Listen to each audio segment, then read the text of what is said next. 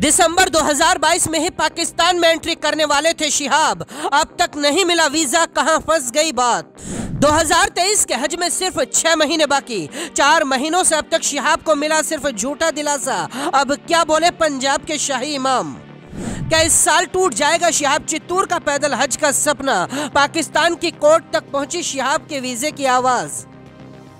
तीन हज़ार किलोमीटर का सफ़र तय करके करीब तीन महीने पहले शिहाब चित्तूर वाघा बॉर्डर पहुँचे थे। तब से लेकर अब तक पाकिस्तान का वीज़ा नहीं मिला है। कहा जा रहा था कि दिसंबर के अंत में शिहाब पाकिस्तान में एंट्री कर जाएँगे। लेकिन 2023 में जनवरी के भी कई दिन बीत गए हैं। लेकिन ना तो शिहाब के सफ़र की खबर आई और ना ही वीज़ा मिला है। पाकिस्तान की सुप्रीम कोर्ट में शिहाब चित्तूर को लेकर क्या फैसला हुआ है, वो बताएँ, उससे पहले शिहाब की मुश्किल समझिए।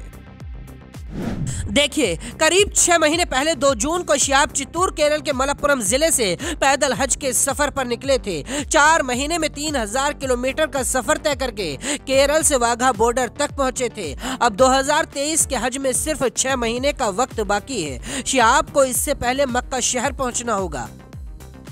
यानी जो शिहाब अपने देश में बिना किसी परेशानी के लगातार चलकर चार महीने में सिर्फ़ तीन हज़ार किलोमीटर चल पाए थे।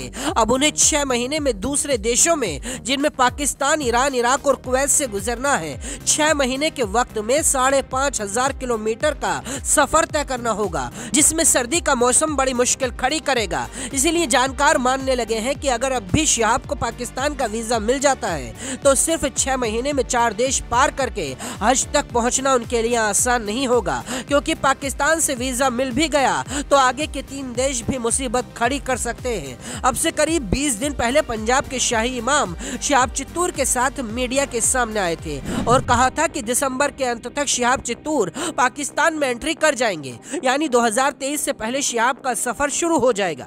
लेकिन अब तक शिहाब का सफ़र शुरू नहीं हुआ।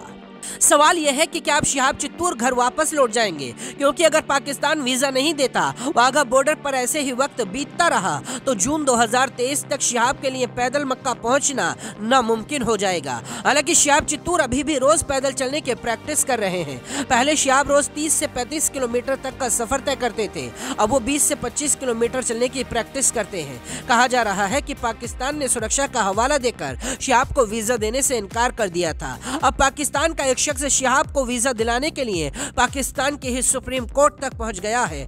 लाहौर हाईकोर्ट ने शिहाब के मामले पर सुनवाई करने से ये कहते हुए इनकार कर दिया था कि हमारे पास शिहाब की ज़्यादा जानकारी नहीं है। अब लाहौर हाईकोर्ट के इस फैसले को पाकिस्तान के सुप्रीम कोर्ट में चुनौती दे दी गई है। याचिकाकर्ता और लाहौर के निवासी सरवर ताज ने अपनी याचिका में कहा है कि पाकिस्तान सरकार हर साल सैकड़ों तीर्थयात्रियों को वीज़ा देती है, लेकिन सिर्फ़ हिंदुस्तान के एक मुस्लिम को वीज़ा देने से क्यों परहेज किया जा रहा है। शहाब को भी वीज़ा देना चाहिए। फ़िलहाल शहाब अभी तक वाघा बॉर्डर पर वीजे का ही इंतज़ार कर रहे हैं। आपको क्या लगता है, तीन महीने इंतज़ार कर चुके शहाब को अब क्या फैसला करना चाहिए? कमेंट करके बताइए और देखते रहिए जनसत्ता डॉट कॉम।